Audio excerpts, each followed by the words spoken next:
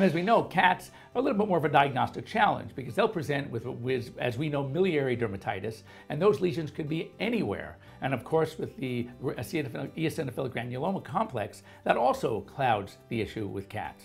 Um, you know, the good news is Cats do tolerate our corticosteroids better, but we still want to treat them. And if I have an opportunity, especially in chronic cases, to get to the bottom of it and try to identify allergens, I think it's a better way to go. It's a more holistic approach to treating our cats as well.